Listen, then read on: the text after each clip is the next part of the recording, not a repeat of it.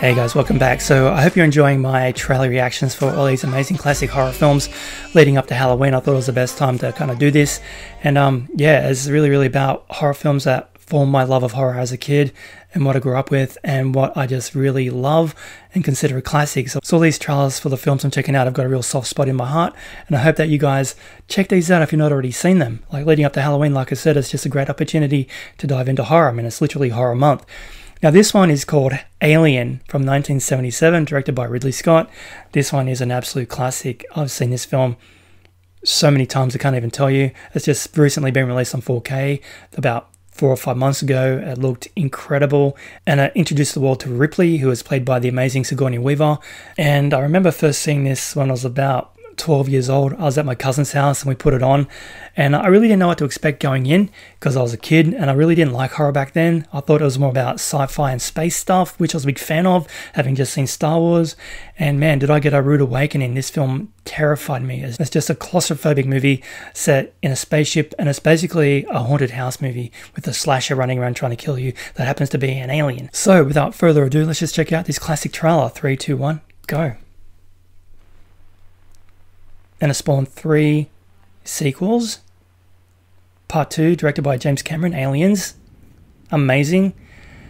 Then 3, 4, and then a whole bunch of um Alien versus Predator movies, which are rather, yeah, do or don't. They're not as good as these Alien standalone films.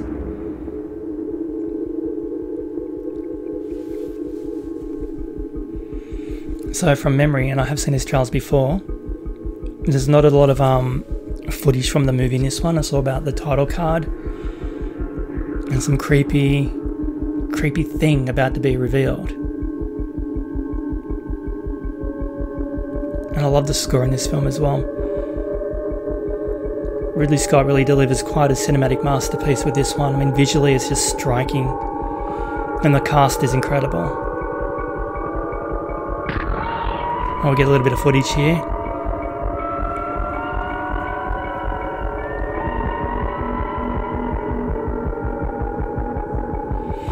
Sigourney as Ripley running through the corridors.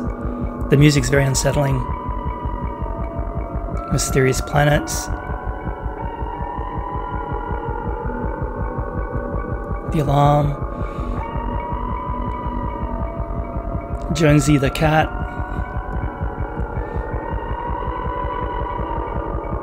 This movie is tense, man. Ian Holm. Yaphet Kotto. Oh, I love this one, man.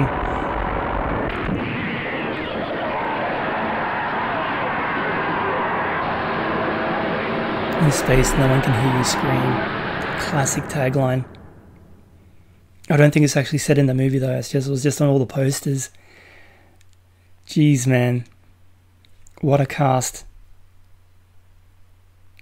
Check this movie out if you've not seen Alien and Aliens boy, you got some homework. You gotta you gotta watch these movies, man. That's why I'm doing all these reactions. These are films that I feel if you're into horror or you want to learn about horror and dive in, these are films that you have to watch because they're all amazing. I mean, they're all classics for reasons, and um, not just because I love them and I do dearly, but they have had something important to say on the scope of cinema history. They really do. Now, the cast list, I mean, I should be able to say this off by heart, but I'm going to read it out to you so I don't make any mistakes. So, Sigourney Weaver as Ripley, Tom Skerritt as Dallas, John Hurt as Kane.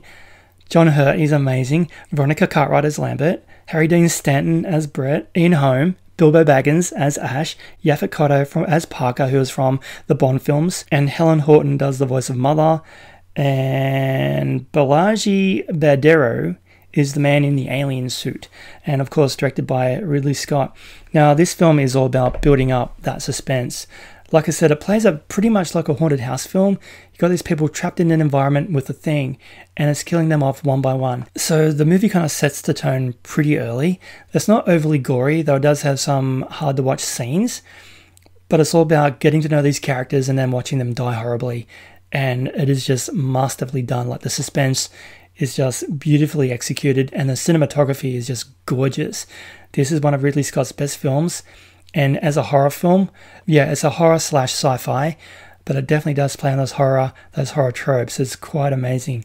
So if you've not seen Alien and Aliens is the next recommendation I'm going to tell you to watch. Both those films are necessary viewing. Part 3 and Part 4, not necessarily so. Prometheus is okay. It's kind of like the prequel to Alien. But uh, yeah, it's beautifully done, but it really doesn't kind of dive into alien lore too much. But it's worth a look. But Alien and Aliens, yeah, get on it. That's a great Halloween double feature right there. Anyway, guys, catch you in the next one. Thanks for watching.